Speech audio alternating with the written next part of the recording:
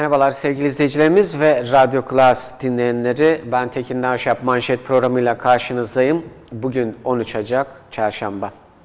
Evet bugün de gündemi paylaşacağız sizlerle. Tabii e, programımıza başlarken üzgün olduğumuzu, üzüntülü olduğumuzu bir kere daha e, dile getirmek istiyoruz. Aslında e, dün de üzüntülüydük, ondan önce de üzüntülüydük. Çünkü şehit haberleriyle sarsılıyoruz.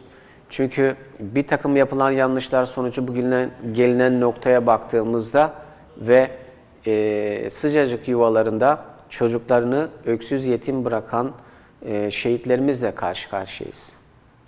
Ve her gün bir şehit haberi alıyoruz. İşte bazen birilerinin yaptığı yanlışı masum insanlar çekiyor. O masum insanlar da hayatları pahasına yapılan yanlışın düzeltilmesi noktasında çaba sarf ediyor. Ve bu nedenle terörle mücadele noktasında tekrar ve bir kere daha tüm güvenlik güçlerimizi, asker teşkilatını ve e, Türk Silahlı Kuvvetleri mensuplarına buradan selam ve sevgilerimizi iletiyoruz. Yüreğimizin onlarla birlikte olduğunu, dualarımızın onlarla birlikte olduğunu bir kere daha hatırlatmak istiyoruz. Şehitlerimize Allah'tan rahmet, gazilerimize sonsuz şükranlarımızı sunuyoruz. Ve tabii ki şehitlerimizin geride bıraktıklarının da mutlak suretle bir değer olarak görülmesi ve sahiplenilmesi gerekiyor. Onu da tekrar buradan hatırlatmak istiyoruz. Dün de bir patlama meydana geldi. Ve bu patlamada büyük çoğunluk turistlerin olduğu Sultanahmet'te yine kayıplar var, yine ölümler var, yine yaralılar var. Ölülere Allah'tan rahmet diliyoruz. Ailelerine sabırlar diliyoruz, kalanlara sabırlar diliyoruz. Başsağlığı dileklerimizi iletiyoruz. Yaralılara da acil şifalar diliyoruz. Ve e, müsebbip kimse zaten o da kendini parçalamış ama onun arkasındakiler önemli. E, onlara da e, gerekli cevabın hukuksal boyutuyla veya e, işte emniyet güçlerimizin yapacağı operasyonlarla bunu da gerçekleştireceklerdir. E, bundan şüphemiz yok. Evet bu konuyu biliyorsunuz e, konuyla ilgili yayın yasağı geldiği için konuşmuyoruz, konuşmayacağız.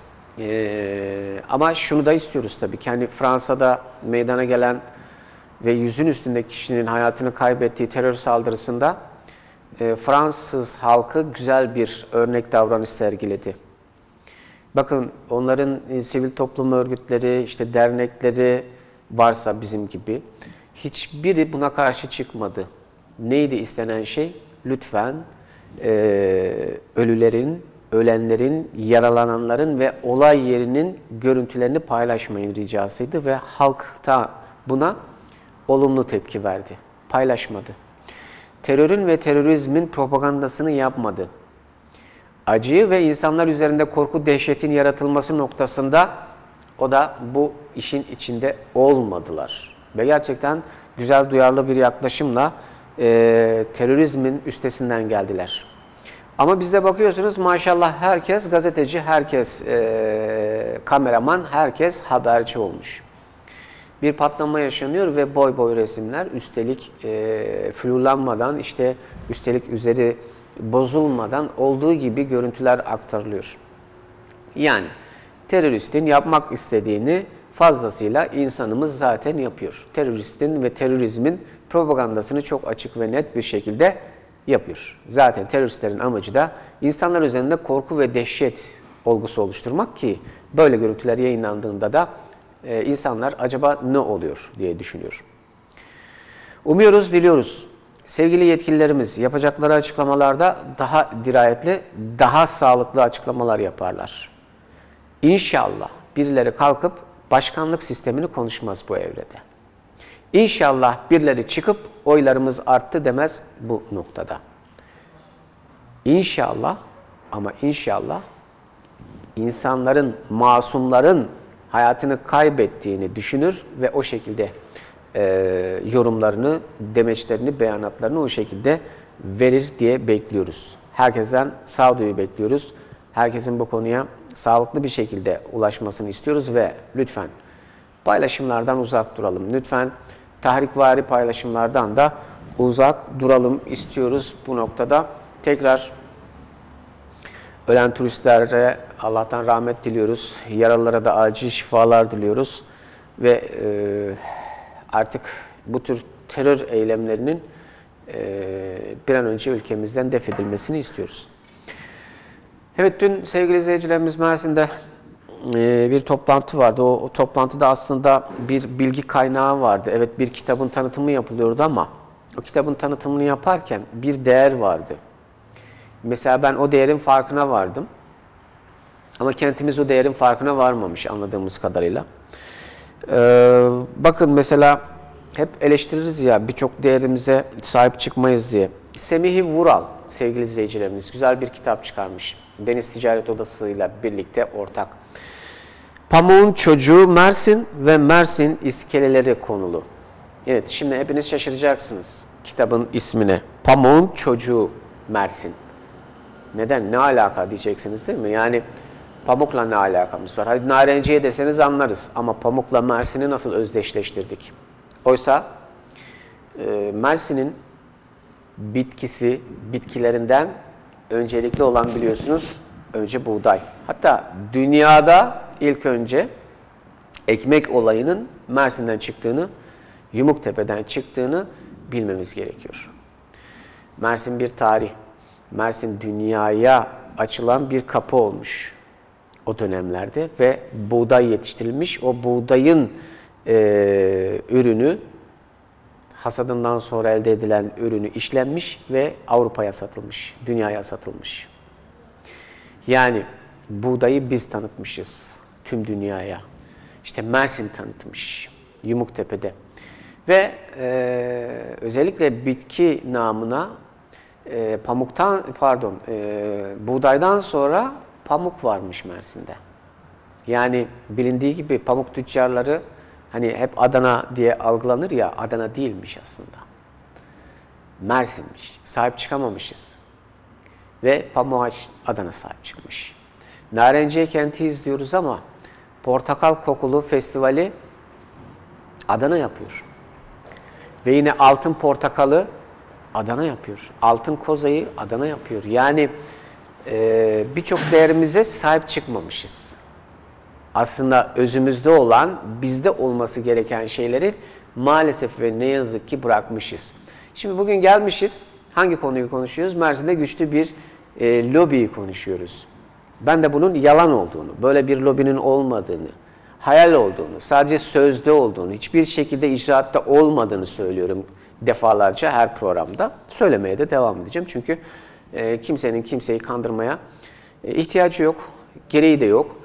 E, Mersin'de güçlü bir lobi yok. Mersin'de güçlü bir lobi olsaydı maalesef ve ne yazık ki. Bakın dün bu kitabın tanıtımında Sayın Semih Vural bir şeyler söyledi.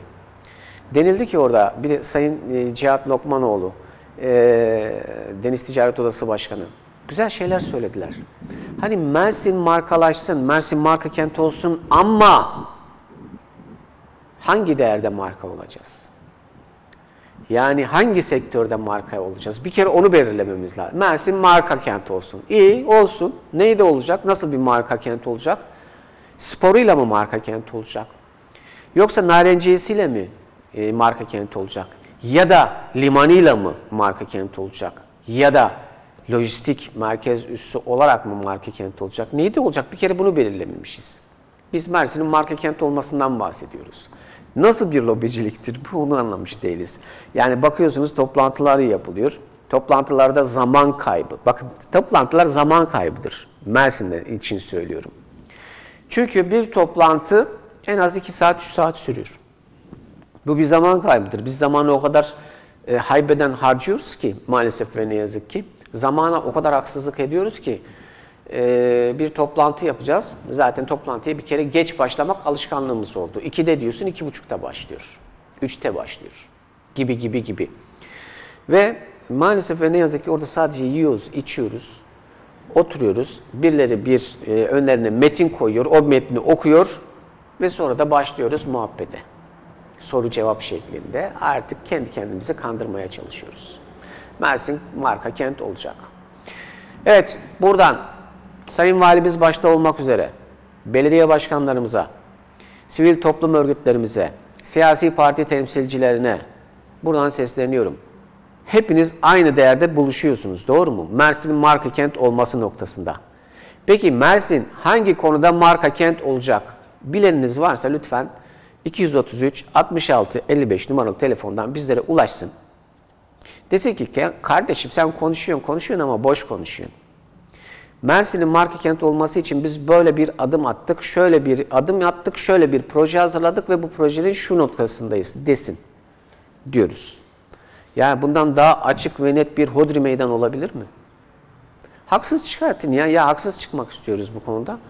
Utanmak istiyorum ben. Yani özür dilemek istiyorum. Ben bu kadar bir e, sunucu da bir an önce özür dilemek isteyen bir sunucuyla karşılaşamazsınız.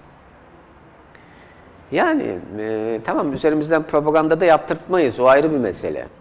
Ona asla izin vermeyiz. Askerimize, polisimize laf getirtmeyiz. O ayrı bir mesele. Ee, yani o ondan kimsenin şüphesi endişesi olmasın ama Mersin'in marka kent olması noktasında hangi alanda, hangi sektörde, hangi konuda bir e, markalaşma yoluna gideceğiz? Bir kere bunu belirledik mi? E, çalıştaylar yapıyoruz, bir şey çıkmıyor. Yani toplantılar yapılıyor, oraya gidiliyor, işte protokol geliyor. Bir de şunu anlam veremiyorum ben. Zaman kaybı diyoruz ya Ezel. Mesela geliyoruz, ne bir toplantı. Bak kim katılmış? Atıyorum, e, şimdi söyleyeceklerim her şey tamamıyla hayal ürünüdür. Diye altyazı geçelim mesela. Şimdi sayın e, valimiz var diyelim bu toplantıda. E, milletvekillerimiz var diyelim. Yani milletvekillerimiz derken Sayın Aytu Atıcı var. Mersin milletvekilleri Sayın Aytu Atıcı. Bakın cümle çok güzel değil mi? Mersin'in milletvekilleri Sayın Aytu Atıcı. Çünkü diğerlerinden ses seda yok. Ee, işte milletvekilleri var. Bel, Büyükşehir Belediye Başkanı ve belde belediye başkanları, ilçe belediye başkanları var. Ee, sonra sivil toplum örgütlerin, temsilcilerin olduğu böyle genelde Mersin'i konuşacağımız bir toplantıyı düşünelim.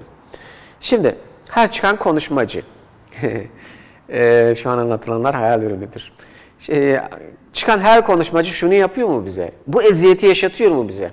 Çıkıyor şimdi, Sayın Valim, Sayın Belediye Başkanım, Sayın Milletvekillerim, Sayın Sivil Toplum Örgütü mensupları, Sayın İl ilçe başkanlarım, e, Sayın Kadın Kollarım, Sayın Gençlik Kollarım, Sayın Sayın Sayın Sayın, Sayın Basın Mensupları diye başlıyor.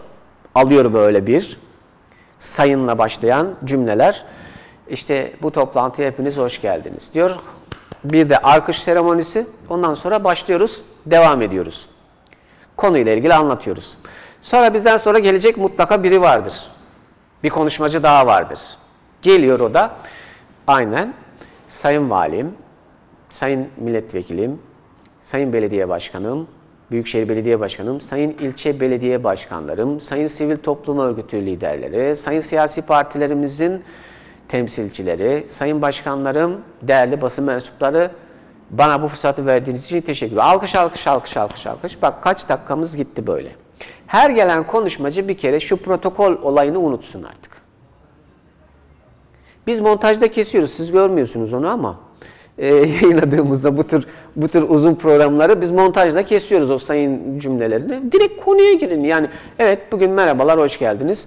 E, bugünkü konumuzun nedeni Mersin'i konuşmak deyip öyle bir atılım yapsak, giriş yapsak bence zamandan da kazanmış olacağız diye düşünüyoruz inşallah. Toplantılar da böyle 2 saat, 3 saat sürmeyecektir.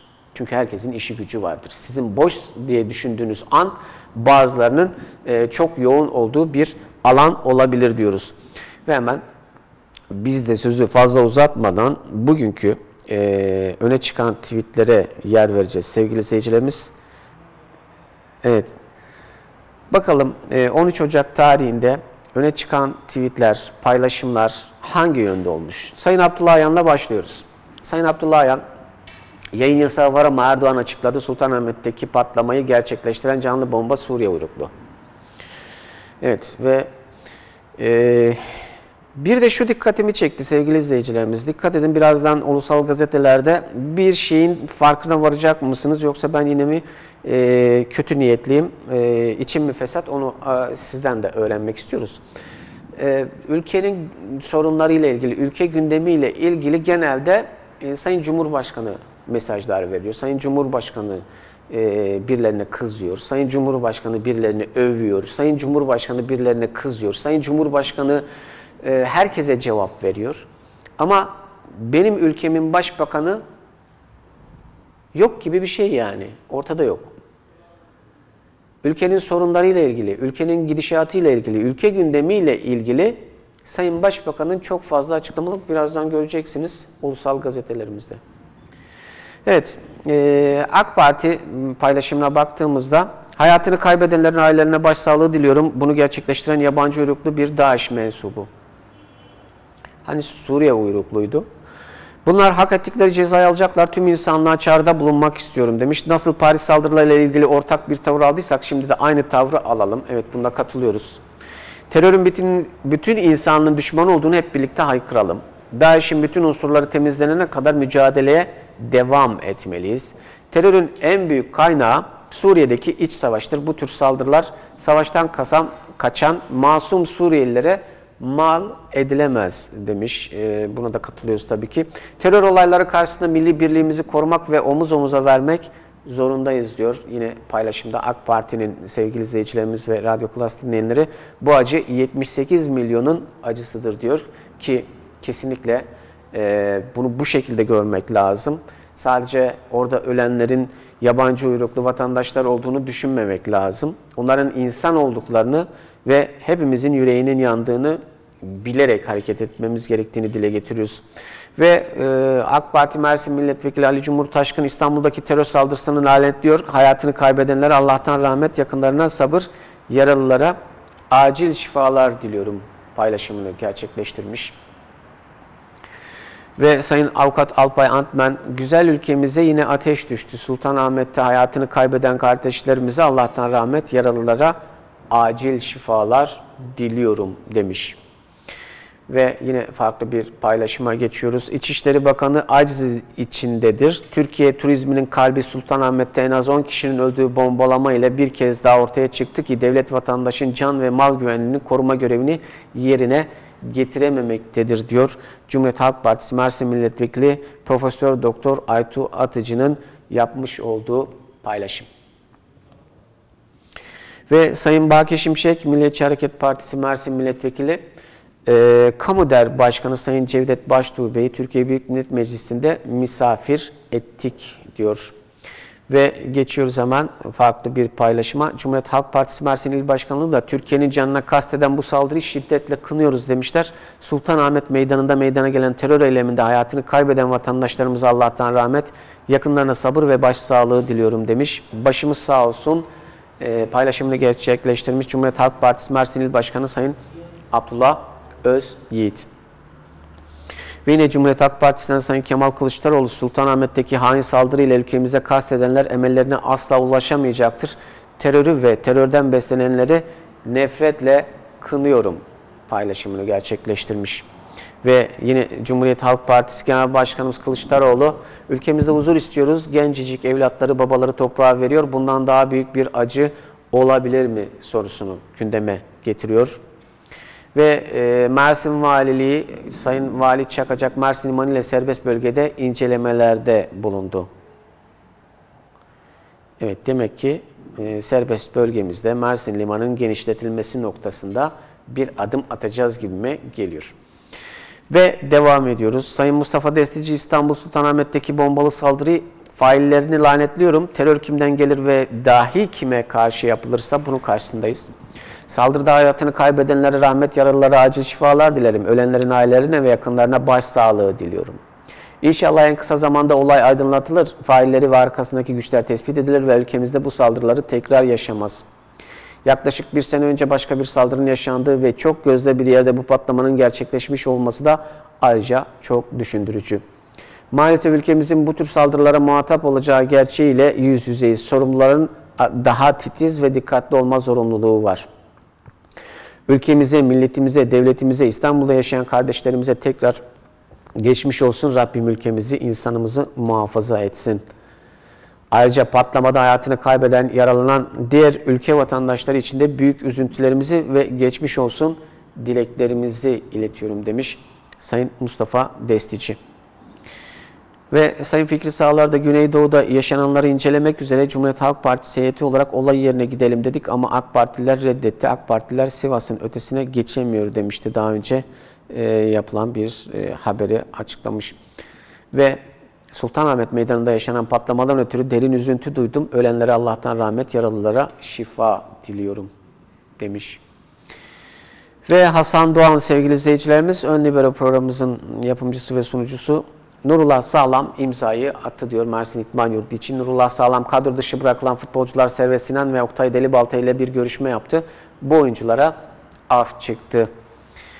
Lakin futbolcular henüz net bir cevap vermediler. Alacaklarıyla alakalı sorun çözülürse bu oyuncular da tekrar takıma katılacaklar paylaşımını gerçekleştirmiş ve kamuoyuyla paylaşmış bu bilgileri. Sayın Burhanettin Kocamaz da Türkiye'de çevre yönetimi için kurumsal kapasitenin geliştirilmesi projesi kapsamında düzenlenen çalıştaya katıldık. Onun paylaşımını gerçekleştirmiş. Evet ve Sayın Lütfü Elvan İstanbul'daki hain saldırıyı kınıyor, saldırıyı gerçekleştirenleri lanetliyorum. Bu saldırı her terör saldırısının olduğu gibi yine tüm insanlığı ve masumları hedef almıştır. Saldırı bir kez daha terörün dini, dili, ırkı ve vicdan olmadığını ortaya koymuştur. Terörle bugüne kadar nasıl topyekun mücadele ettiysek bundan sonra da etmeye devam edeceğiz. Hiçbir fark gözetmeksizin, örgüt ayrımı yapmadan teröre karşı dik duruşumuzu bundan sonra da sürdüreceğiz.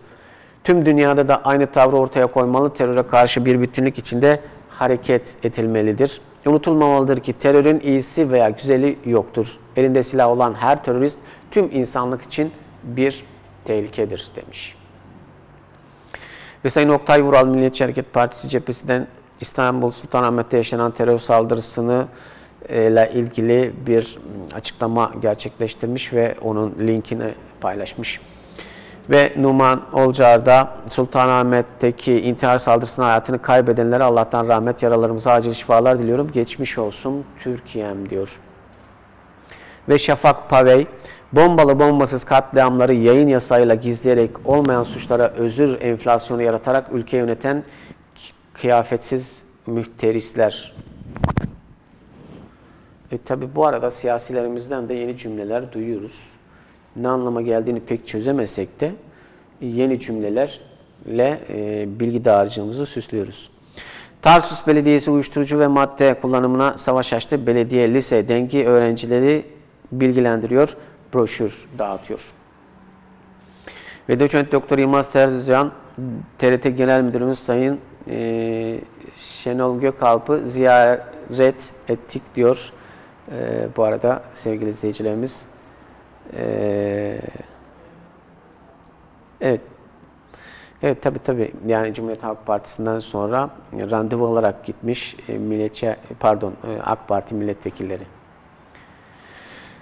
Evet tabi bir kere şundan anlaşalım. Yani e, Cumhuriyet Halk Partili heyetin yaptığının yanlış olduğunu bir kere söyleyelim. Yani sonuçta orası bir devlet kurumudur.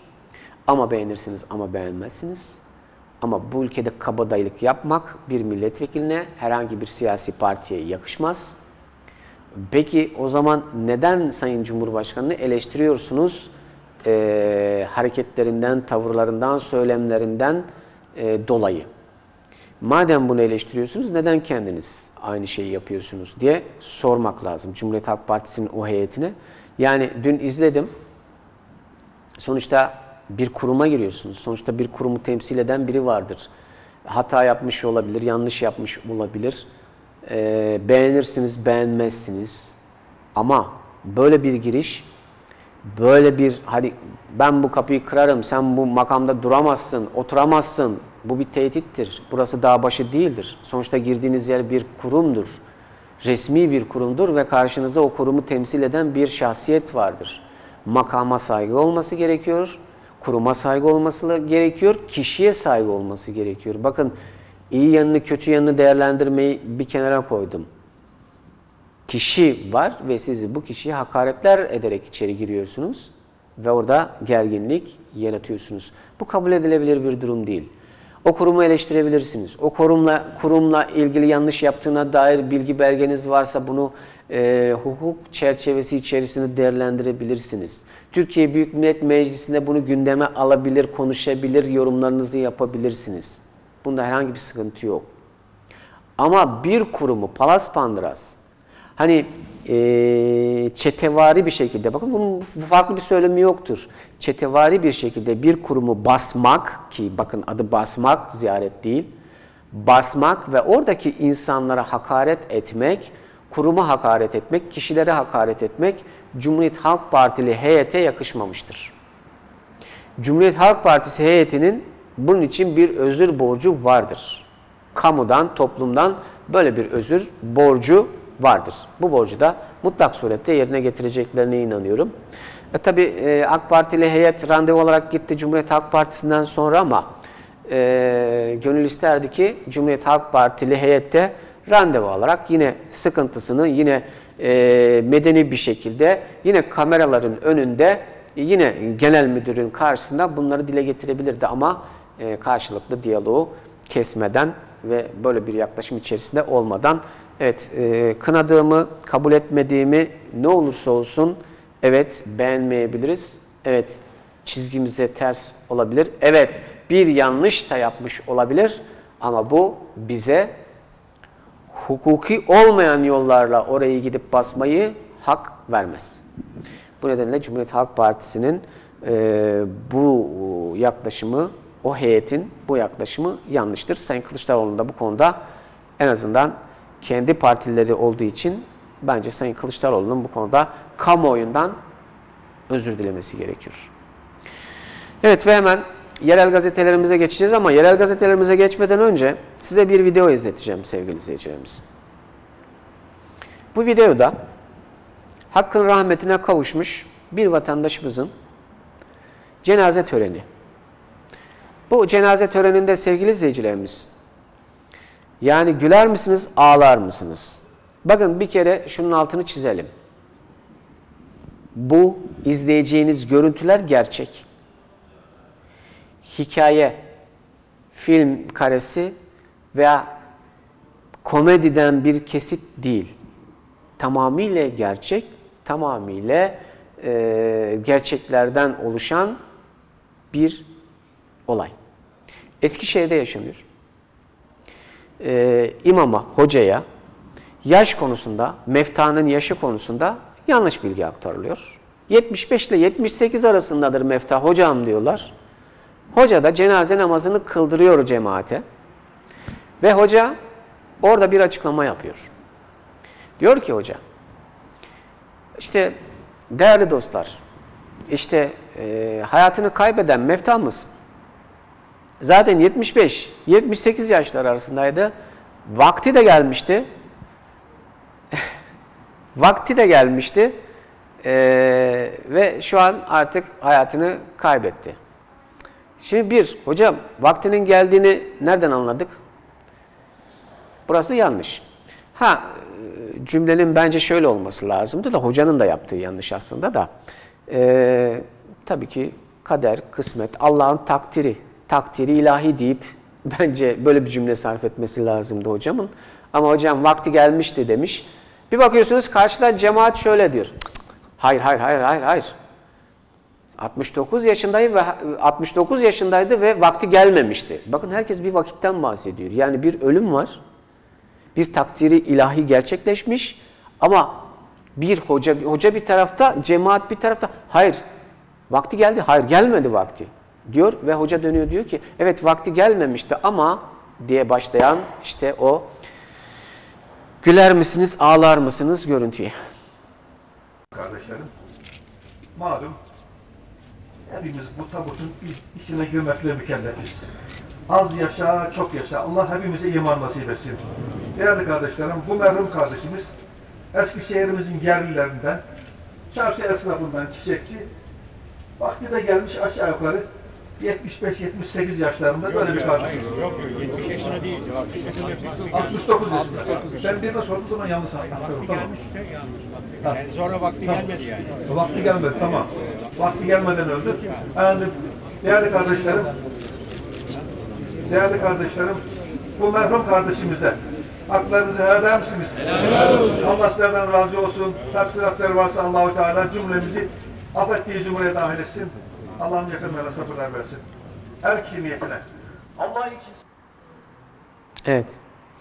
Şimdi burada üzülmemiz mi gerekiyor, gülmemiz mi gerekiyor? Diyaloğu gördünüz.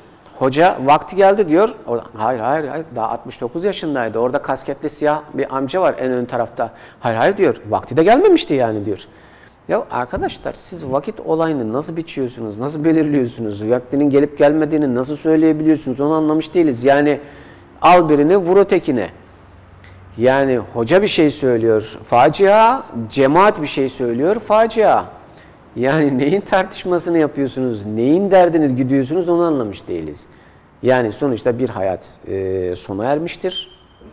Evet mutlak surette her ölümün bir sebebi vardır. İşte meftanın da sebebi bir hastalıktı. Ama sonuçta vadesi dolmuş. Vakti gelmiş yani. Öyle deriz ya, vakti gelmiş işte. Herkesin doğarken yazılmış bir kaderi vardır, yaşam çizgisi vardır. Ne kadar yaşayacağını bir tek Allah bilir ama bizim cemaatle hoca kalkmış, vakti gel Yok gelmemiş hoca sen yanlış söylüyorsun. Bak daha 69 yaşında. Hocam kaç yaşında ölmek gerekiyor? Yani yaşın bir sınırı mı var? Ölmenin bir sınırı mı var? 70'e geldi mi ölecek. Evet vakti geldi doldu bitti. 70'ten önce ölürse vakti dolmamıştı ama daha vakti var da haksızlık oldu şimdi. Yani gerçekten işte Türkiye'de yaşanabilecek maalesef ve ne yazık ki bu da işte bilgisizlikten kaynaklanan hani kimliğimizde yazıyor ya Müslüman, İslam. Hep o zaman din kültürü hocamız şey derdi bize. Biz kimlik Müslümanıyız. İşte o olduğumuz için işte bu tartışmaları yaşıyoruz. Eğer Müslümansak Müslümanlığı, Hristiyansak Hristiyanlığı bilmeden yaşıyoruz ve maalesef ezbere konuşuyoruz. Hemen gazetelerimize geçeceğiz sevgili izleyicilerimiz. Güney Gazetesi'yle başlıyoruz. Şehir merkezindeki çarşılarda çalışan yüzlerce esnaf tek bir dernek çatısı altında buluştu. Çarşı esnafı örgütlendi. Mersin Büyükşehir Belediyesi geçtiğimiz Kasım ayında Zafer Çarşısı ve Ulu Çarşı esnafına gönderilen tebligatlarda kira sözleşmelerin 2016 Şubat ayında sona ereceği ve yeni sözleşme yapılmayacağını duyurmuş ve dükkanların 1 Mart 2016'dan önce boş olarak belediyeye teslim edilmesi istemişti. Belediye dükkanları boş olarak teslim aldıktan sonra nasıl bir proje yapacağını henüz açıklamadı. Ancak belediyenin bu tebligatı belediyenin kiracısı durumundaki çarşı esnafının bir araya gelerek dernekleşmesi sürecini hızlandırdı. Derneğin kurucu başkanı Bekir Algüllü, esnaf dertli, sıkıntılı, esnaf kepenk kapatıyor, esnaf e, siftahsız kapatıyor, esnaf marketler karşısında eziliyor dedi ve Büyükşehir Belediye Başkanı Kocamaz'ı çarşıya davet etti. Evet, Ulu Çarşı ve Zafer Çarşısı esnafları birleşti bu arada sevgili izleyicilerimiz. Ee, Tabii dediğimiz gibi e, hani esnafımıza destek verelim, evet verelim. Ee, esnafımız gerçekten büyük alışveriş merkezleriyle, AVM'lerle e, artık mücadele etme noktasında maalesef gücü yetmiyor. Hem maddi açıdan hem sermaye açıdan hem de tabii ki çeşitlilik açısından bir mücadele sergileyemiyor. Biz toplum olarak zaten genelde e, nankörlük yapan bir toplumuz aslında. Yani bir dönem bakkallarımızın artık bizler hakkında çok net bilgiye sahip oldukları bir dönemde kız alıp vermelerde özellikle evle evliliklerde bakkaldan sorulurdu genç delikanlı ve kızın ailesi nasıl aileler diye. Yani bakkal bizim için aynı zamanda o mahallenin bir büyüğü, o mahallenin bir danışanı, danıştığımız danışmanı, e, saydığımız biriyken hatta cebimizde para yok diye kara kaplı defterine borç yazdırarak borçla eve alacağımız ürünleri aldığımız bakkalımıza artık bakmaz olduk. Tabii böyle küçük esnafımızda maalesef ne yazık ki işte büyük alışveriş merkezlerinde A'dan Z'ye her şeyin satıldığı, hem A'dan Z'ye her şeyin satıldığı hem yeme içmenin de e, imkanının verildiği hem de çocuklarının eğlenebileceği alanların verildiği büyük alışveriş merkezlerine karşı mücadele edemiyorlar. Ve gerçekten siftah yapmadan dükkan kapatan, dükkanı tamamıyla kepenk kapatarak bu işe son veren birçok esnafımız var. İşte bizim her zaman söylediğimiz buydu. Ama kimse kusura bakmasın birçok esnafımız da çok net hatırlıyorum. Mesela e, Sayın bakan, eski bakan, şimdi Başbakan Yardımcısı Sayın Lütfü Elvan tatlı dağıtmıştı mesela. Esnafımızı ziyaret etmişti, esnafımızın yüzü gülüyordu. Esnafımızın bir tanesi çıkıp da Sayın e, Başbakan Yardımcısına, şimdiki Başbakan Yardımcısına, o dönemin Mersin Milletvekili adayına, ya Sayın e, Vekilim, e, bizim içimiz kan ağlıyor. Biz siftah yapamadan dükkanlarımızı kapatıyoruz, iş yapamıyoruz. Bize bir destek diyen bir esnafı duymadım ben.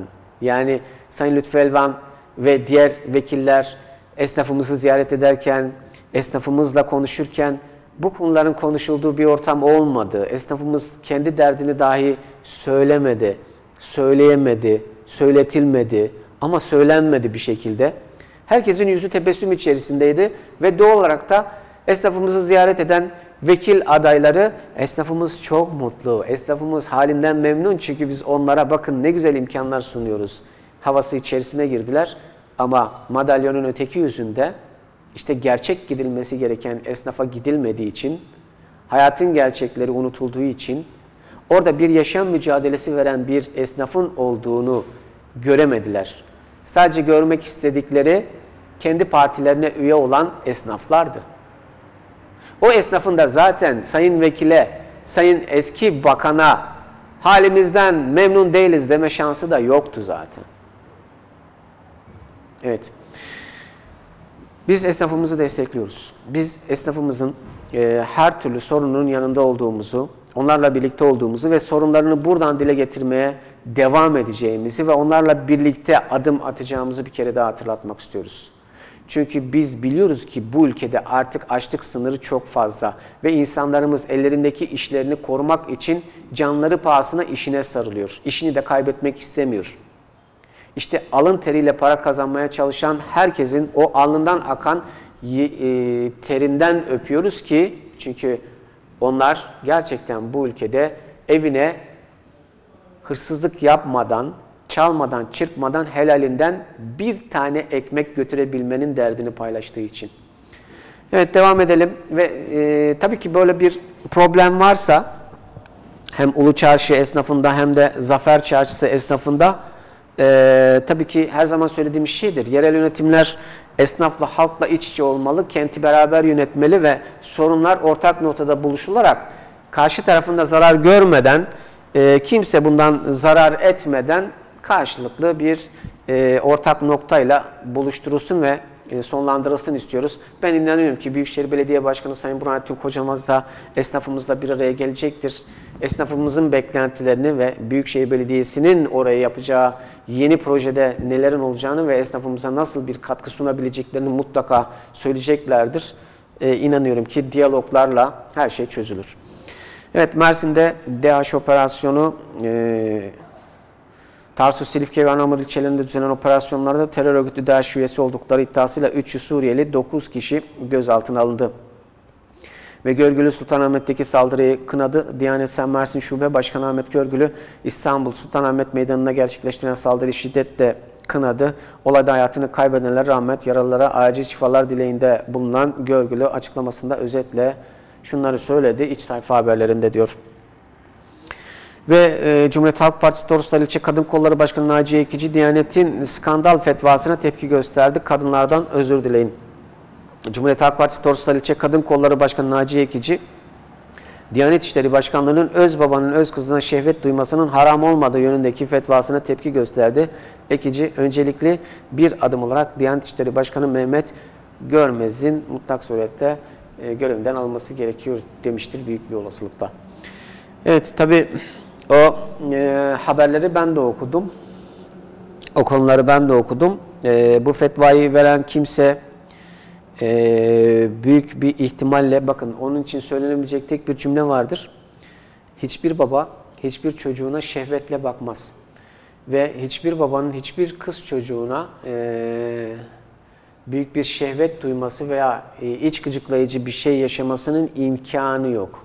Ve bunun dinde de yeri yoktur. Yani çocuğunuza şehvetle bakabilirsiniz. E, bakarsanız haram değil, günah değil diye bir durumda söz konusu değildir. Kimse bize e, Kur'an-ı Kerim'i yeniden öğretmesin.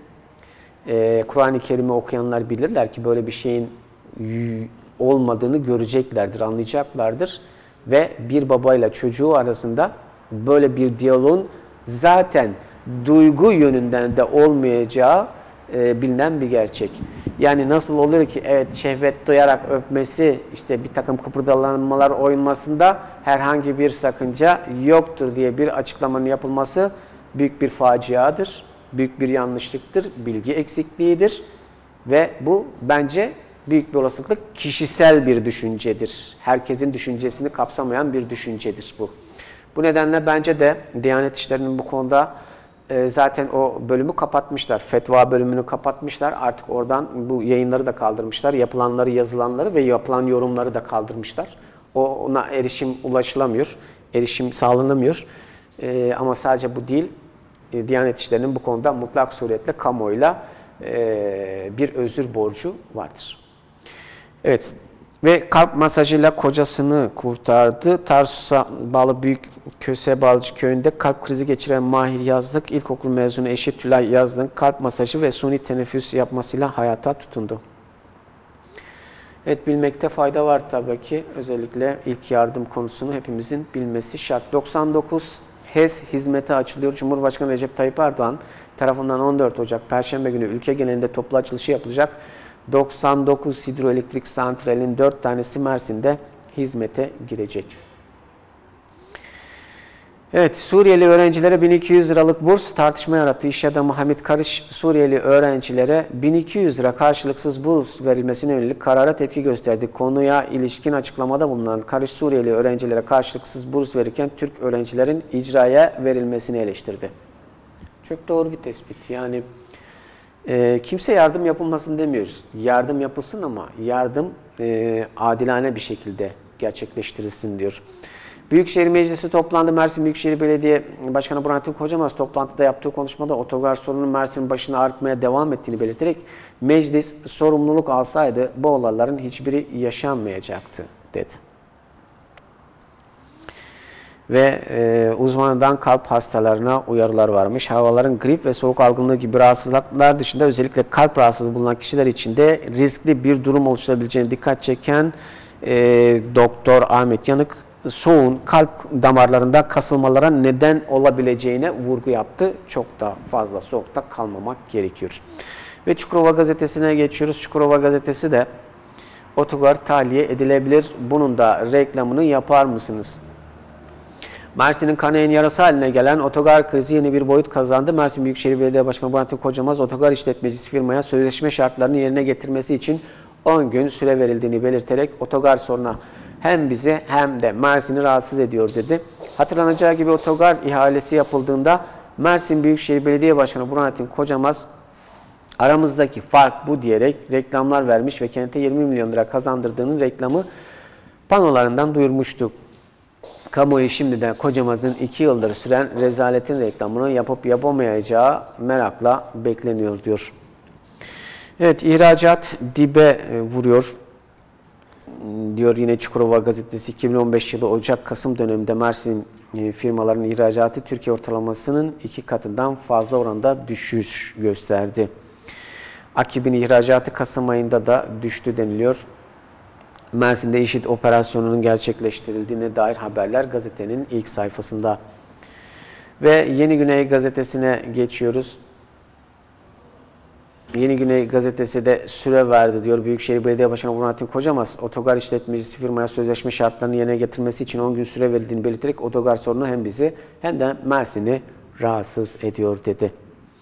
Hoş geldin Bebek projesiyle Mezitli Belediyesi gönüllere hoş geldin. Bebek projesi kapsamında düzenledik etkinlikte minik ayaklar için tek yürek olup hünerlerini sergilemişler. Ve üniversite öğrencilerinden ilginç eylem Erdemli ilçesinde Mersin Üniversitesi Erdemli Meslek Yüksek Okulu Bankacılık Bölümü öğrenciliği sosyal sorumluluk projesi dersi kapsamında kadına şiddeti kınamak adına erkek öğrencilere makyaj yapılıp şiddete dur denildi. Ve geçiyoruz. Hakimiyet gazetesi otogar boşaltılıyor. Mersin şehirler arası otobüs terminalinde yaşanan kriz katlanarak büyüyor bir süredir yazıhane kira fiyatlarının yüksek olmasından dolayı otobüs firmalarının boykot ettiği Mersin şehirler arası otobüs terminalinde yeni bir gelişme yaşandı. Mersin Büyükşehir Belediye Başkanı Burhanettin Kocamaz 20 milyon liraya ihale ihaleyi alan Şimşek grubu ile otobüs işletmecilerinin anlaşmaması nedeniyle otogarın tahliye edileceğini açıkladı. Ve Suriyeli öğrencilere 1200 lira Türk öğrenciye icra Hamit Karış Mersin iş adamının yapmış olduğu açıklamalar Başbakanlık tarafından lisans bölümünde okuyan Suriyeli öğrencilere karşılıksız 1200 lira burs verilmesini eleştirdi. Ve sevgili izleyicilerimiz reklam arasından sonra Ali Gürkan Şamiloğlu'na gidiyoruz. Mersin gündemine dair bilgileri alacağız. Ardından kaldığımız yerden devam edeceğiz.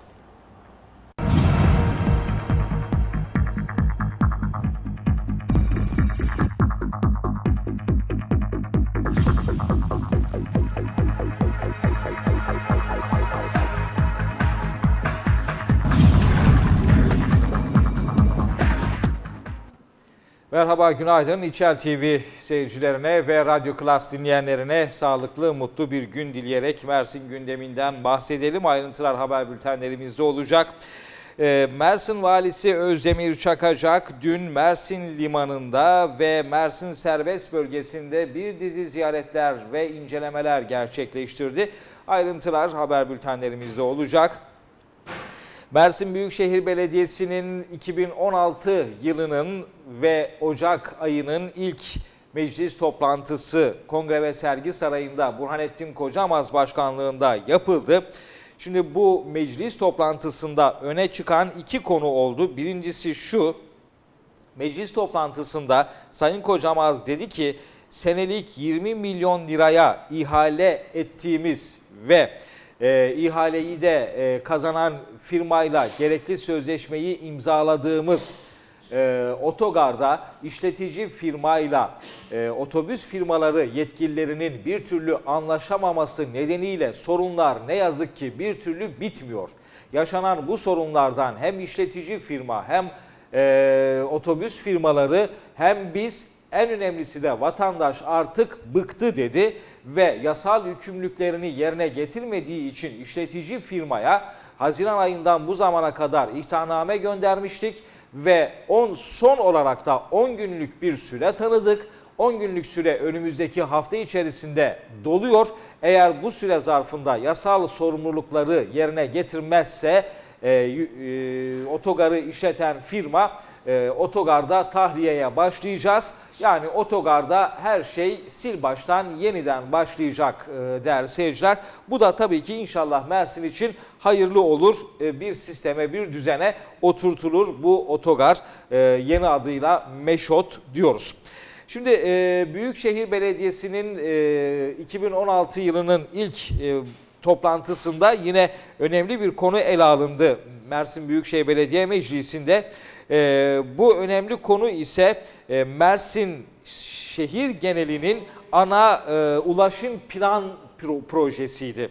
Bu amaçla tabii ki özel bir firmayla anlaşmıştı Mersin Büyükşehir Belediyesi. O firma bir dizi araştırmalar yaptı, bir dizi anketler yaptı. Sonuçta çok ayrıntılı bir rapor hazırladı. Bu raporda Büyükşehir Belediye Meclisi'nde firma yetkilisi tarafından belediye meclis üyelerine sunuldu.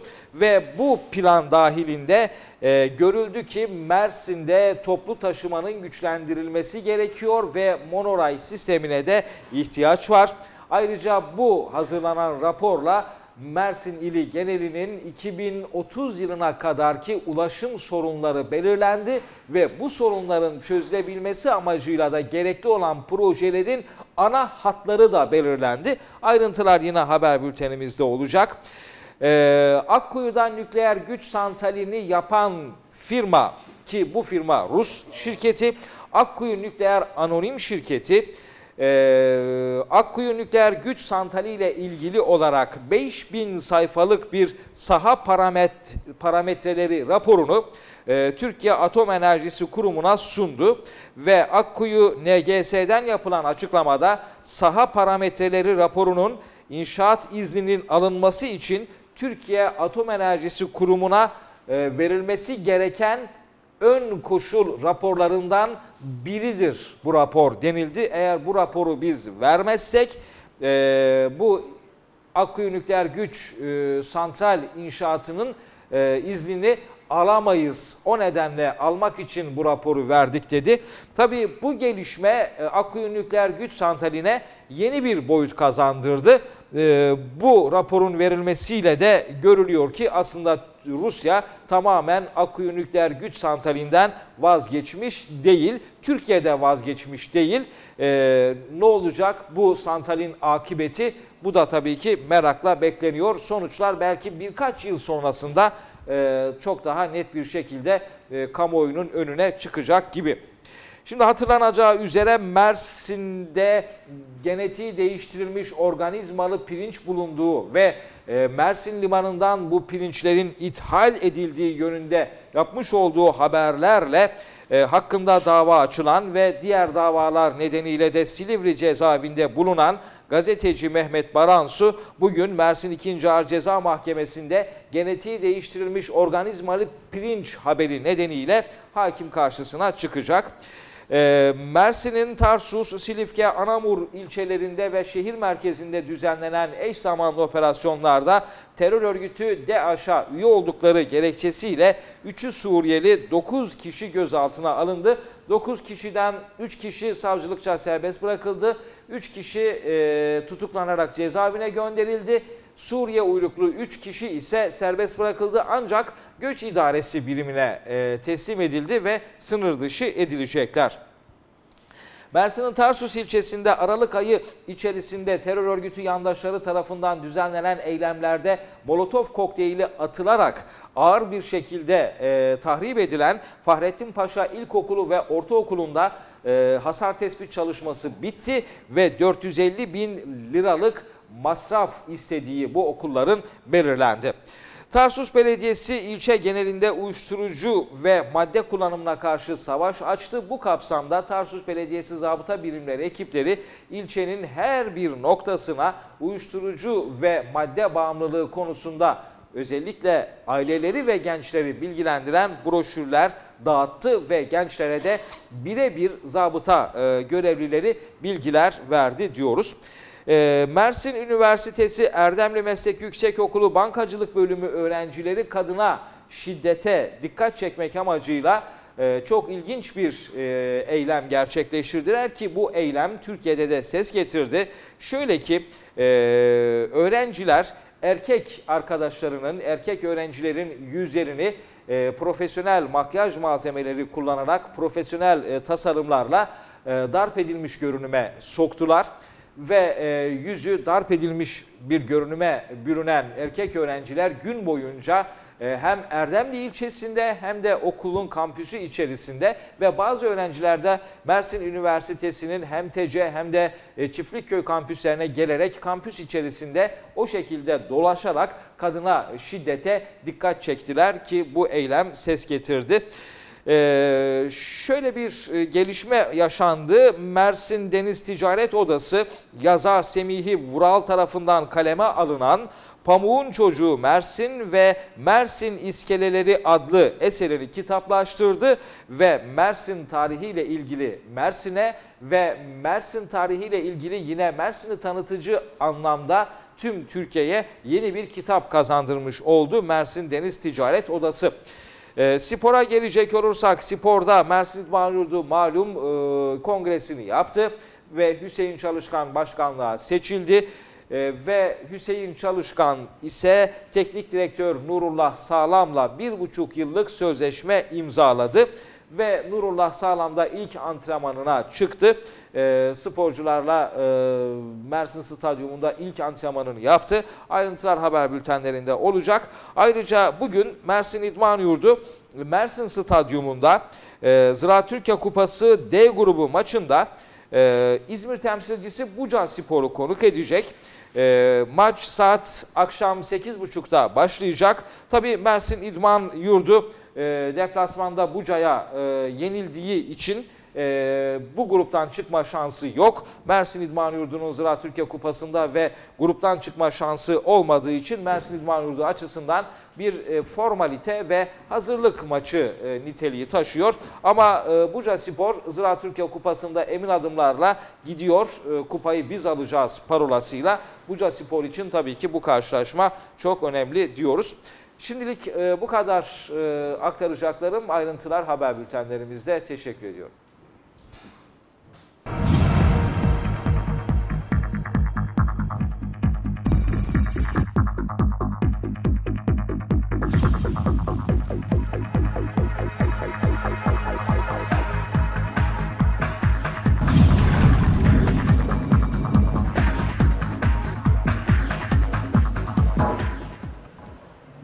Evet teşekkür ediyoruz Ali Gürkan Şamiloğlu'na. Ve hemen ulusal gazetelerimize geçeceğiz ama ulusal gazetelerimize geçmeden önce haber turu ve spor turunu izleyelim. Ardından ulusal gazetelerimizde karşınızda olacağız.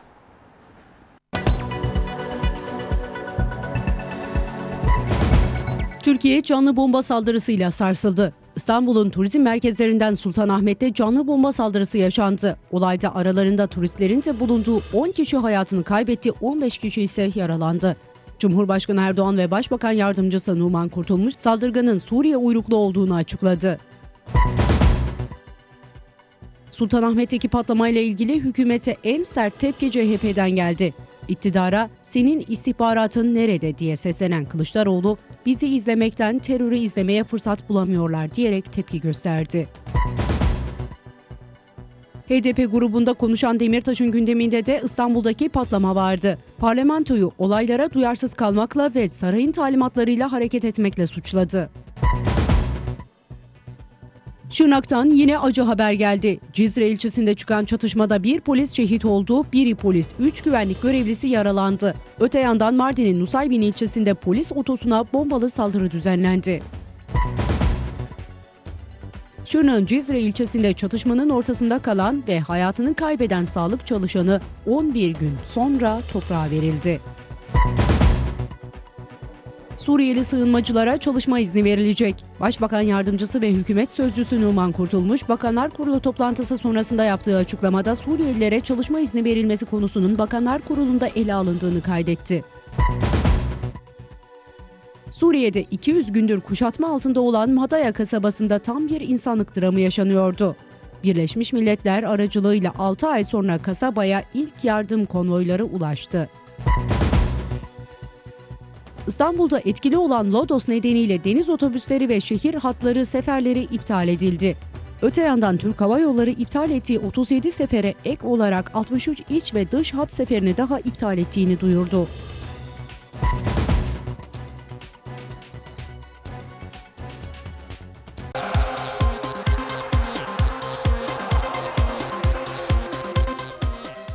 Antalya Spor Teknik Direktörü Jose Morias, Antalya Spor'un önemli bir karşılaşmaya çıktığını ve takımının iyi oynayarak önemli sonuçlar aldığını ifade etti. Zira Türkiye Kupası H grubu 3. karşılaşmasında Antalya Spor'la Tuzla Spor karşı karşıya geldi. Karşılaşma 1-0 Antalya Spor'un üstünlüğüyle sona erdi. Antalya Spor'un çiçeği burnunda teknik direktörü Jose Morias, takımının başında çıktığı ilk maçtan galip ayrıldı. Basın toplantısında karşılaşmayı değerlendiren Morias, Tuzla Spor karşılaşmasının kendileri için önemli olduğunu, takımının iyi oynadığını ve önemli sonuçlar aldığını kaydetti. Bursa Spor'da olağanüstü genel kurulun ilk oturumunda yeterli çoğunluk sağlanamayınca kongre 19 Ocak Salı gününe ertelendi. Bu tarihte kongre çoğunluğu aranmaksızın gerçekleştirilecek. Tofaş Nilüfer Spor Salonu'nda yapılan ilk oturuma 98 kongre üyesi katılarak imza verdi. Başkan adaylarından Ali Ay, Burhan Vatan, Burhan Ilgın ve Recep Günay da kongre salonuna gelerek imza verdi. Yeterli çoğunluk sağlanamaması üzerine açıklama yapan Divan Başkanlık Kurulu Başkanı İdris Sevinç, kongrenin ertelendiğini söyledi. Mersin İdman Yurdu'nda yapılan ve tek listeyle gidilen olağanüstü genel kurulda başkanlığa Hüseyin Çalışkan seçildi. Mersin İdman Yurdu'nda 8 yıllık Ali Kahramanlı devri kapandı. Kongre ve Sergi Merkezi'nde gerçekleştirilen genel kurulda Vali Özdemir Çakacak ve Büyükşehir Belediye Başkanı Burhanettin Kocamaz'ın desteğiyle eski başkanlardan Hüseyin Çalışkan, Mersin İdman Yurdu'nun başkanı oldu. Çalışkan'ın yönetiminde şu isimler yer aldı. Senan İdin, Özgür Sanal, Hikmet Kaya, Engin Şahin, Abdi Kurt, Sedat Aydöner, Mehmet Can Duman, Beşir Acar, Abdi Öztürk, Metin Yıldıran, Masum Sevimli, Murat Altındere, Akif Serin, Cihat Gündoğar, Vedat Yüksel, Sabri Tekli.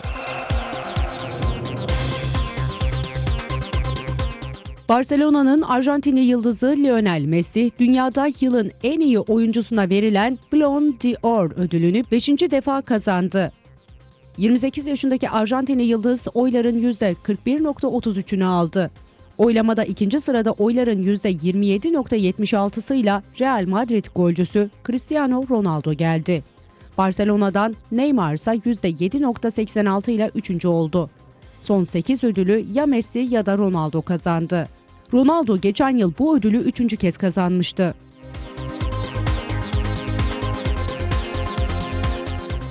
Bursa Spor'un Çin'in Beijing Guoan takımından transfer ettiği eski yıldızı Pablo Martin Batalla Özlüce tesislerinde taraftarın seviye gösterileriyle karşılandı. 2013-2014 sezonunda dönemin teknik direktörü Christoph Daum'la yaşadığı sorun sebebiyle Bursa Spor'dan ayrılan 32 yaşındaki yıldız oyuncu 2 yıl sonra yeniden Bursa Spor'a döndü.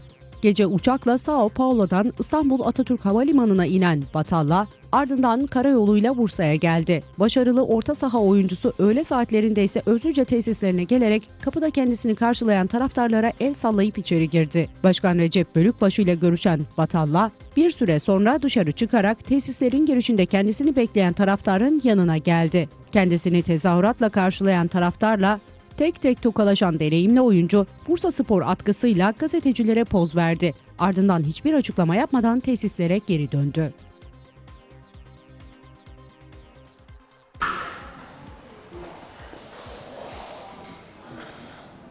Evet ve sevgili seyircilerimiz ulusal gazetelerimize geçip Türkiye ve dünya gündemine göz atacağız. Tabii e, yaşanan katliam, yapılan terör saldırısı e, gazetelerde de ilk sayfadaki yerini alıyor. E, sevgili seyircilerimiz bir kere daha e, Sultanahmet'te hayatını kaybedenlere Allah'tan rahmet diliyoruz. Yaralılara acil şifalar diliyoruz. Aynı zamanda şu an güvenlik güçlerimiz hem Türk Silahlı Kuvvetleri hem polis teşkilatı mensupları terörle mücadele ederken Sur'da, Diyarbakır'da, e, Nusaybin'de, Cizre'de e, hendekçilere karşı bir mücadele veriyor ve bu mücadelede şehit olan asker ve polis teşkilatı mensuplarımıza Allah'tan rahmet diliyoruz. Gazilerimize e, bir an önce iyileşmeleri yönünde temennimizi iletiyoruz. Ve tabii ki şu an orada e, terörle mücadele gösteren hem silahlı kuvvetlerimize hem polis teşkilatımıza buradan selam ve sevgilerimizi, yüreklerimizi ve dualarımızı gönderiyoruz. Yüreğimiz ve dualarımız onlarla birlikte Allah onları onlara gelebilecek bir zarardan dolayı korusun. Onlara zarar vermek isteyenleri de yerin dibine soksun.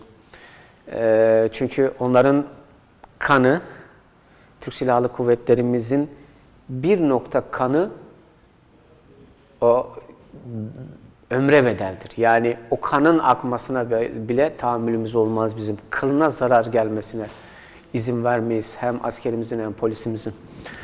Cumhuriyet Gazetesi eşit kanlı saldırılarına bir yenisini daha ekledi. Türk turizminin ve İstanbul'un kalbi Sultanahmet'te canlı bomba eylemi, katliam ülkesi diyor. Turist kafilesine hedef alan e, canlı bomba saat 10.20'de pimi çekti. Korkunç patlamada çoğu Alman, 10 turist öldü. Saldırganın Suriye'den yeni geldiği ve takip edilenler listesinde olmadığı açıklandı. Evet ve hemen yayın yasağının geldiğine dair haber var. Sözcü gazetesi de hükümetten yine bildik tepki ambulans gelmeden yayın yasağı geldi. Dinci işidin e, yani bir kere bu cümle külliyen yanlış. Dinci işit, dinci değil arkadaşlar. Yani e, gazeteci arkadaşım tamam belki yıllardır bu işi yapıyorsun. Ulusal bir gazetede yazıyorsun ama kusura bakma da kim yazmış bu haberi bakalım.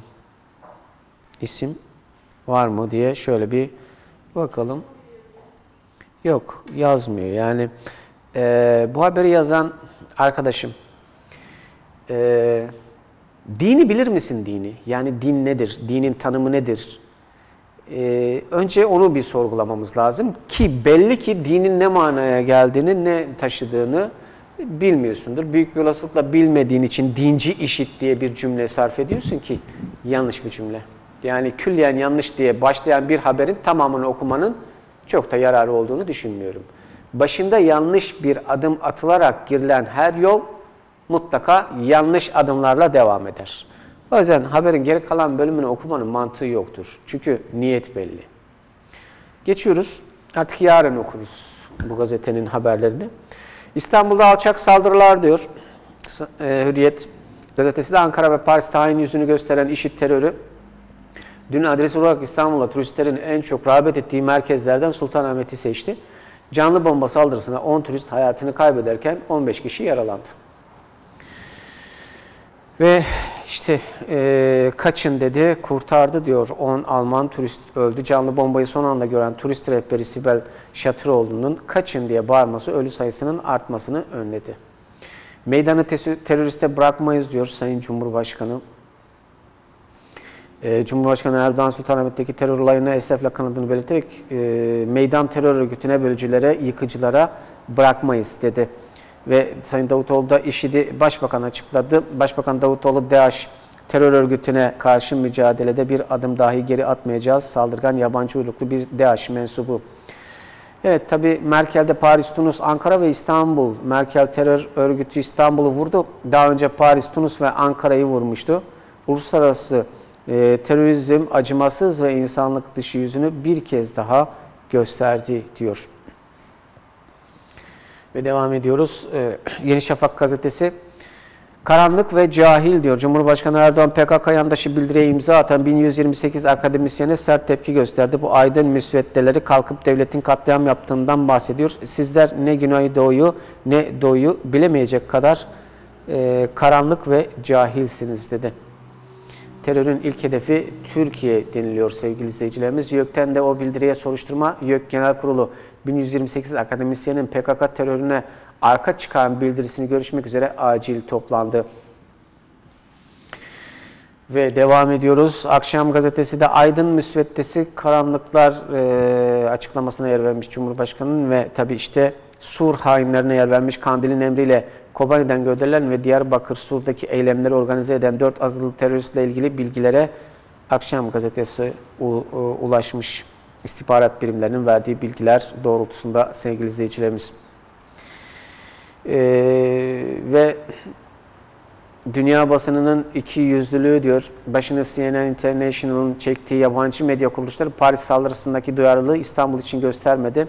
AFP, AP, Reuters gibi haber ajansları ceset fotoğraflarını dünyayla paylaşırken turizm vurgusu yapmaktan geri kalmadı.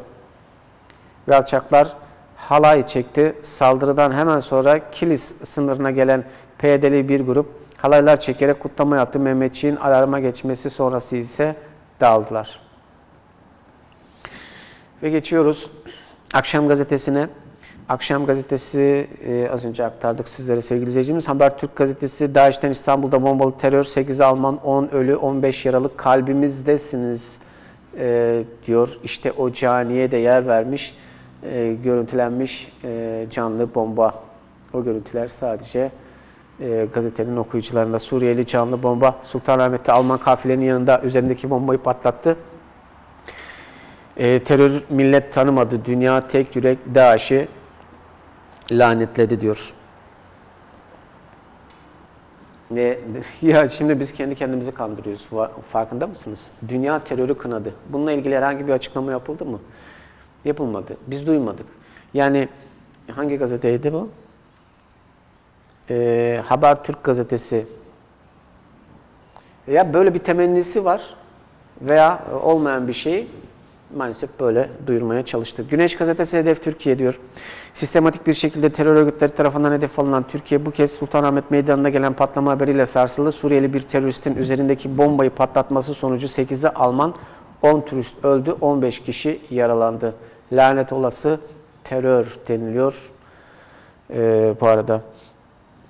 Ve geçiyoruz Sabah gazetesine. Hedefleri Türkiye, ülkemizin huzuruna, güvenliğine ve istikrarına kasteden DAEŞ teröristleri İstanbul'un kalbi Sultanahmet'te canlı bomba patlattı.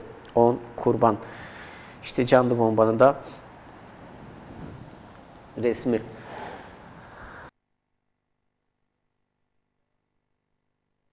Sevgili izleyicilerimiz, Türkiye gazetesine geçiyoruz. Turizmin kalbine bomba. Suriye'yi kana bulayan vahşi örgüt ateşi Türkiye'ye taşımak için katliam yaptı. Maskeliler hayatı zehir etti. Çocuklarımıza zorla hendek kazdırdılar diyor. Termosta patlayıcı döşenmiş bu arada. Ve Posta gazetesi de kalbimizi ve misafirlerimizi vurdular. Aşırı dinci terör örgütü IŞİD. Devam ediyoruz sevgili izleyicilerimiz. Öyle bir cümle yok. Öyle bir cümleyi sarf edenin gazetesini de haberini de okumayız. Yani IŞİD'le din kelimesini yan yana getiren hiçbir haberi okumayız. Çünkü öyle bir şey yok. Hiçbir dinde masum insanları kimlikleri ne olursa olsun hunharca, haince, vahşice ve kahpece katledilmesini onaylayan herhangi bir sure, herhangi bir ayet, herhangi bir söylem yoktur. Çünkü dinde insanlık ön plandadır. Ne olursa olsun, ne zihniyette olursa olsun insan olması yaratılandan dolayı saygı duyulması gerekir ki bu Kur'an-ı Kerim'de de geçer. Ölüm yalnız ve ancak Allah tarafından verilir insanlara. Bir başkasının bir cana kıyması Allah'a şirkliktir, ortaklıktır. Allah'a şirk koşmakta dinen en büyük günahlardandır. Bunu bildiğimiz halde dinci terör örgütü, dinci örgüt, dinci işit cümlelerini sarf edenler kara cahildir. Bu haberleri de okumayız. Ve devam ediyoruz. Takvim gazetesi meydanı size bırakmayız diyor. Terör örgütü DAEŞ Sultanahmet Meydanı'nda bombalı saldırı düzenledi. İstanbul'u gezmeye gelen 10 turist can verdi. Türkiye vahşi saldırıya böyle tepki gösterdi diyor. Ve Vatan Gazetesi meydanı boş bırakmayız diyor. Erdoğan canlı bomba için Suriye kökenli dedi. Dünyaya birlik çağrısı yaptı. Meydanı terör örgütüne bırakmamalıyız. Ve Yurt Gazetesi de halkın %69'u başkanlığa karşı diyor. Kadir Has Üniversitesi'ne ilgi gerçekleştirdiği Türkiye Sosyal Siyasal Eğitimler Araştırması'nda Beştepe ve başkanlık sistemine destek çıkmadı. Tek adamlık olur, kutuplaşma artar denildi. Ve Kılıçdaroğlu bırak bir vali konuşsun. Cumhuriyet Halk Partisi Genel Başkanı Kemal Kılıçdaroğlu canlı bomba saldırısı sonrası ilk açıklama yapan Cumhurbaşkanı Erdoğan'ı eleştiriyor. Bırakın bir vali konuşsun, başbakan konuşsun. Yine bizim diktatör bozuntusu konuşuyor. Şimdi yine birilerini suçlayacaklar. Sen sorunları çözeceksin. Önce önlem alacaksın. Nerede senin istihbaratın? Bizi izlemekten terör izlemeye fırsat bulamıyorlar diyor. Evet. Ve geçiyoruz. Zaman Gazetesi yine işit yine canlı bomba. Türkiye'nin misafir odası olarak bilinen Tarih Sultanahmet Meydanı bir yıl sonra yine terör saldırısına maruz kaldı. Terörü lanetliyoruz. Ve Milliyet Gazetesi Sultanahmet'te hain saldırıya yer vermiş. Canlı bomba Alman Çeşmesi ile Dikiltaş arasında turist kafilesinin içine girerek kendini patlattı. Ve açık çek veriyorum diyor. Cumhuriyet Halk Partisi lideri Kılıçdaroğlu Ankara'da patlama olduğunda şu cümleleri kullandım. Terörü bitirme konusunda açık çek veriyorum. Bir şey mi istiyorsunuz? Bütün gücümüzle hazırız. Aynı şeyi şimdi de söylüyorum. Artık bu işin aması maması yok diye konuştu. Cevabı çok ağır verilmeli diyor. Milliyetçi Hareket Partisi lideri Bahçeli Sultanahmet'teki kanlı saldırıya çok ağır cevap verilmeli. Azmettiriciler, işbirlikçiler ve hücre evlerinde barınan insanlık düşmanları mutlaka bulunup cezalandırılmalıdır dedi. Ve Orta Doğu Gazetesi ağlamadığımız gün yok. İstanbul'da canlı bomba saldırısı 10 ölü 15 yaralı. AK Parti'ye verilen %49 oy zam, zulüm, vergi, terör, kan, gözyaşı ve ölüm olarak millete geri döndü diyor. Ve Star gazetesi e, fail belli diyor sevgili izleyicilerimiz. E, Esed e, Putin'in resimlerini vermiş. İşte bombacının resimlerine de yer vermiş bu arada. Polisi görünce pimi çekmiş deniliyor sevgili izleyicilerimiz. Rus canlı bombada kaçamadı Adana'da. Sevgili izleyicilerimiz Adana'da Suriye'ye geçmek için hazırlık yapan Rus uyruklu kadın son anda yakalandı. Dağıstan bölgesinden geldiği belirlenen kadının canlı bomba eğitimi almaya gitti. Dönüşte Türkiye'de eylem yapmaya talimatı aldığı öğrenilmiş. Evet ve işte şu tablo kimsenin hazmedemediği hatta bazı kendilerine gazeteci diyenlerin dahi hazmedemediği bir tablodur bu. Genelde askerimizi, polisimizi orada vahşet işliyor gibi bir töhmet altında bırakacak açıklamalar yapan o gazeteci müsveddelerine işte bu resim kapak olsun. Radyo izleyicileri için resmi tanımlayalım. Sevgili Radyo Klas dinleyenleri, e, şu an e, ekranımızda iki tane askerimizin e, Silopi'de ilçeyi teröristlerden arındırdıktan sonra, temizledikten sonra küçük çocuklara çikolatalarını, gofretlerini paylaşan ve çocukların da e, askerimizden e, korkmadan yakın bir görüntüsü var. E, yüzler ve çocuklar asla ve asla e, yalanı söylemezler. Bu an gördüğümüz tablo bu. Siz göremiyorsunuz ama e, televizyon izleyicilerimiz çok net bir şekilde bu tabloyu görüyor. Ve bu tablodan rahatsız olanlar var. Kusura bakmayın ama bu tablodan rahatsız olanlar var. Rahatsız olanlara da verilecek bir cevabımız var. E, veremiyoruz. Veremiyoruz. Yani buradan çok söylemek istiyorum ama veremiyorum rahatsız olanlara. Ama anlamışlardır büyük bir olasılıkla nasıl bir cevap vereceğimi anlamışlardır. İşte bazen televizyonda olmanın verdiği dezavantajlardan birini yaşıyorum şu an. Ama şu an ekranları başında bizleri izleyenlerin ne dediklerini ben duyar gibiyim. Evet katılıyorum.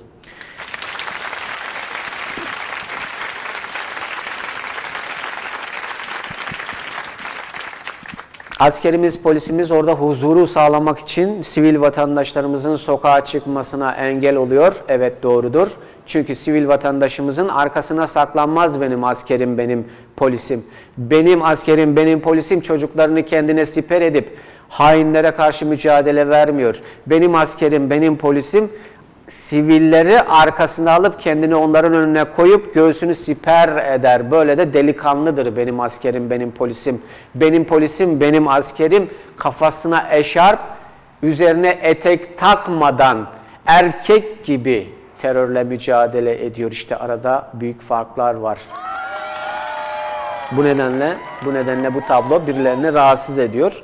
Rahatsız olanlara da diyecek lafımız yok. Belediye başkanlarının yapmış olduğu çalışmalarda çevreye çekemeyenlere, PKK yandaşlarına verdiğimiz rahatsızlıktan dolayı son derece gururluyuz, mutluyuz. Hiç de özür dilemiyoruz.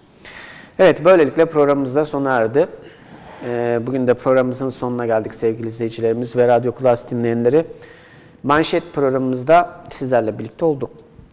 Yarın yine aynı saatte tekrar birlikte oluncaya dek esen kalın, hoşçakalın.